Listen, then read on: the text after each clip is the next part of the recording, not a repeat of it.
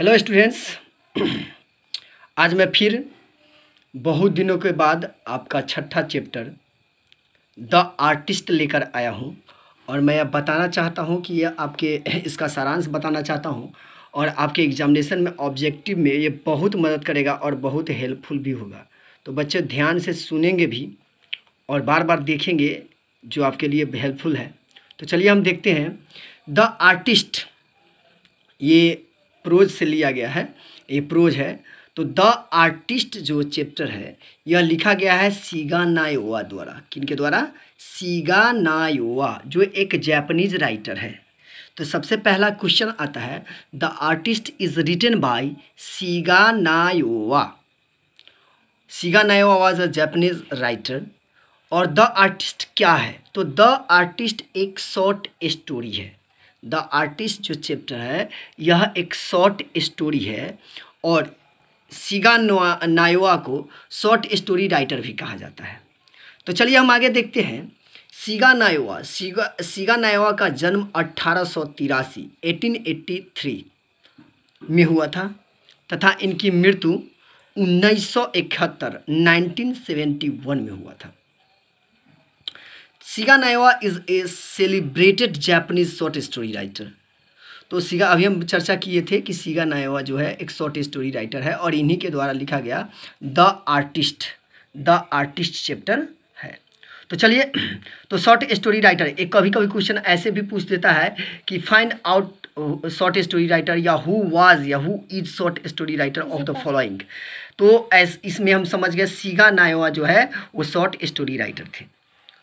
तो यहाँ देख लेंगे एक बार फिर से। Shiga Naoya is a celebrated Japanese short story writer of twenty century of twenty माने बीसवीं शताब्दी का। एक क्वेश्चन यहाँ से फिर आता है कि सीगा नायोवा कैवीं शताब्दी के शॉर्ट स्टोरी राइटर थे? तो ट्वेंटी यानी बीसवीं शताब्दी के short story writer twenty century writer माने जाते हैं।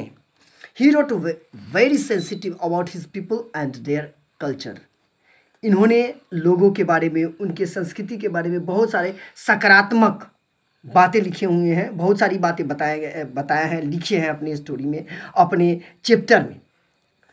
अब आगे आगे जो बात कर रहे हैं द आर्टिस्ट द आर्टिस्ट जो एक शॉर्ट स्टोरी है द आर्टिस्ट क्या है? एक शॉर्ट स्टोरी है unfolds before us the world of a talented Japanese boy the artist में एक जापानी ट्वेल्व ईयर्स ओल्ड बॉय की चर्चा है। तो यहाँ एक क्वेश्चन आती है कि जो बच्चा है कि जापानीज बुआ है, उसका नाम क्या है? तो उसका नाम सेबी रहता है। उसका नाम सेबी रहता है और ये ट्वेल्व ईयर्स ओल्ड का रहता है, यानी कि बारह वर्ष का। यह क्वेश्चन आपके ऑब्जेक्टिव में कई बार पूछ चुका है कि how old was Seibei? Seibei was twelve years old बुआ। ये बहुत बार पूछा हुआ है कि सेबी का उम्र बारह वर्ष रहता है। और किस स्कूल में पढ़ता रहता है? यह भी क्वेश्चन बार बार आ गया कि किस स्कूल में? तो सेबी प्राइमरी स्कूल में, बारह वर्ष के बावजूद भी वह प्राइमरी स्कूल में ही रहता है। तो यहाँ से बहुत तीन चार क्वेश्चन आ गए। से यानी टैलेंटेड बुआ जिसके बारे में चर्चा हो रही है सेबी नाम था। सेबी बारह वर्ष का था और प्राइमरी स्कूल में ही पढ़ता था।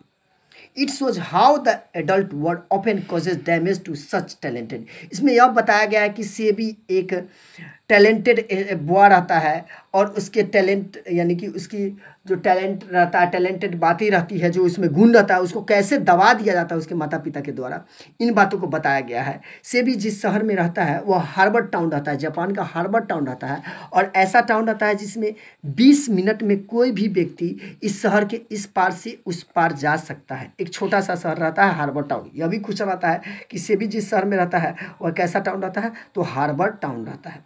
इसमें यह से भी मैंने एक टैलेंटेड बुआ माना जाता है, जो लौकी लौकी की बात करते हैं, जिसमें अपने, मैंने टैलेंटेड टैलेंट को दर्शाता रहता है और कैसे उसके शिक्षक और उसके पिता के द्वारा दबा दिया जाता है, ये बातें इसमें बताई गई है। तो बच्चों, फिर से एक बार थोड़ा मैं रिमाइंड कराना चाहूँगा, the artist is a short story, it is written by Siga Nayawa. Siga Nayawa was a Japan, Japanese short story writer of 20th century. तो मैं समझता हूँ इसको ध्यान से पढ़ेंगे देख लेंगे भी आपके लिए बहुत हेल्पफुल होगा फिर हम अगले वीडियो में मिलेंगे जब तक के लिए धन्यवाद जय